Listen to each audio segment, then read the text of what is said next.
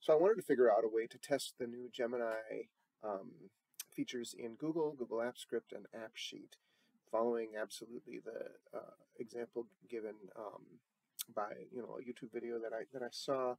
I wanted to be able to upload an image and have it uh, give me a physics uh, problem based on it. So you can see this is what the emulator looks like over here. Um, and so I've done just a few tests. So this is a picture of, it's kind of hard to see, but it's basically a tow truck sort of dumping off a container. And this is what it returned. So a semi truck is carrying a shipping container. It's so big, so long, coefficient of friction, and it even gives the answer. So I wanted to show how I did this, um, and then maybe you know talk about ways you could extend it.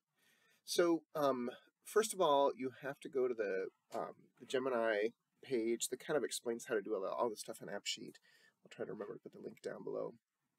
Um, and really all you need of theirs is all the stuff at the top. So all of this stuff at the top you need to do. And you have to go get your API key. So follow the directions to get your API key, including the directions of how to use this little guy down here to um, save your Google API key. I'm not going to show you mine. Um, so you need those, and then I actually think the only one you need is this one. Uh, down to here. I don't think you actually, I don't think it calls the other one, does it? Response. Nope, yep. So you just need that function. You don't need any of the other functions because then I made my own function here, this AppSheet Gemini Vision. So it takes a prompt and it takes an image name that I'm going to grab from AppSheet. I actually pull the slash out, so that's what's going on right there. Um, normally in AppSheet, when it saves stuff, I'll show you an example. Um, actually, with the spreadsheet of this one. So it typically looks like this. It's like your full name of the um, app you're working on, then a slash, and then um, a funky looking name, right? And so this FA4A0048 is a, exactly the ID, and then I don't even know what this 015726 is. I, they say it's some sort of uh, representation of the date time, but whatever, who cares? Um, and so what I'm doing is I'm just looking for everything after that slash and using, uh, where does it go? Using um, get file, files by name. That way I can get the ID. So I know it's the only one, so I, I immediately do the dot .next uh, to grab the actual file, and then I get the blob. And I had to do some playing around here to make it work. I actually, and it might be a little overkill, but I actually grab it as an image JPEG because that's because I know everything that comes from my phone is going to be. Um, and so comes out as JPEG, and then I, this is a little bit redundant, um, and then I send it to Call Gemini Pro Vision, which over there, what they do to it is just a little bit more, they do this to it. Now theirs, they had PNG here and PNG here, and it, oddly, leaving this one PNG worked. I actually thought I had changed it, looked back and realized I hadn't changed it yet, and it was still working, so whatever. But this one, if you don't change this one, it fails. It says something like invalid image or something. So you actually have to change theirs, the line, the very first line of the call Gemini Pro Vision, so that it says JPEG. And then to be consistent, I changed this one too, and it worked either way. So that's great. And then what I'm returning is just the output. So, oh, because they, they get the output. So what they're doing is they're, they get the output they do all this crap because they know exactly what the JSON structure is going to be. So they know that, well, find the candidates and find the first one and then find the one that's the, the content of it and then the parts of the content and then the first part and just the text. And so, you know, it's a whole bunch of nested uh, JSON, but this is uh, exactly how they did it to be able to, to return the prompt that I'm asking for. So then I just return it. Um, and obviously, if it's a bad file, I return bad file. So it gets returned and over an AppSheet, what that means is, so I'll just show you. I, I mean, I literally just built this um, spreadsheet that had an ID, the photo, the email of who the user is, uh, the prompt, which starts blank, and the date time.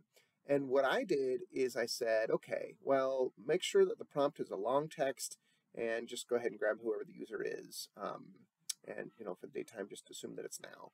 So when I actually built the, um, this plus, let me go there.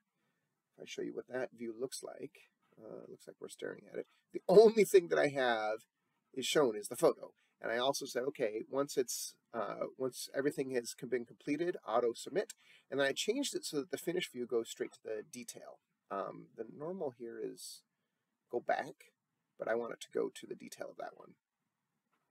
So um, once the image is saved, uh, then I had to run this automation. So what the automation does is it says, okay, hey, there's a new photo. And I really only wanted it for adds. Don't do it for deletes or updates.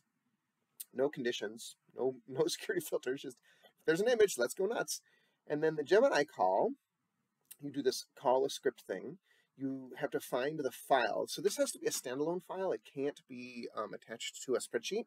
So that has to be a standalone script file. I called mine Gemini testing. Once you do that, it actually gives you um, a bunch of functions to choose from. So these are all the functions that I've been monkeying with.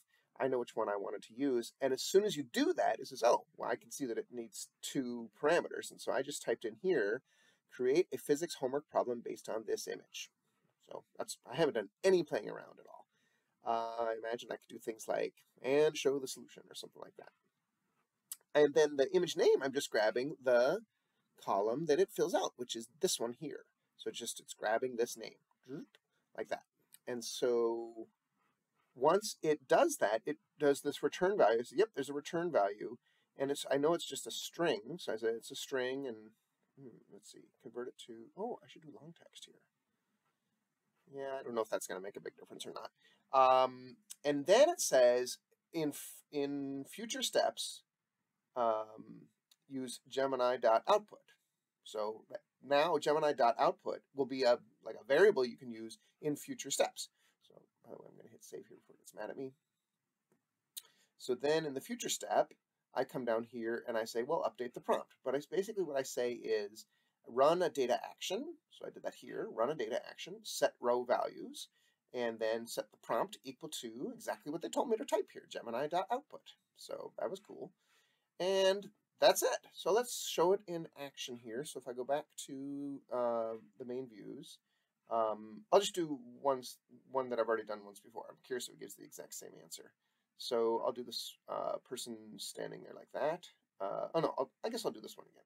So if I hit add, I'm going to go find an image. I think I called it trailer. And so you can see it's doing this orange business. So that is a little bit of the upload and a little bit of the calling Gemini. Uh, on my phone, this took, I don't know, 15 seconds. Um, I would guess that on the computer it's going to be a little faster. So it's done now, and it now has updated. Uh, here it is. So this looks the same to me. Oh, wait, this looks different. What is it? So remember, the very last part of this is what is the angle of the incline, whereas the last one uh, which I think this is sorted. Last one said, oh yeah, the last one gave a whole lot more info. So apparently the exact same image, the exact same prompt gave two different answers. That's awesome. And so what it does is it builds, um, you know, it's just a card deck here. We can see all of the pictures and you can see the first, I don't know, sentence or so of the thing. And so the ceiling fan one I thought was really, really interesting because it really went crazy here. I mean, it, I haven't even checked it, but it's kind of fun now. I could just take pictures. Oh, and look at that. It's using uh, Markdown. I didn't notice it was doing Markdown. Um, you can take a picture of anything and get an interesting physics problem out of it. So I just wanted to show how I did that.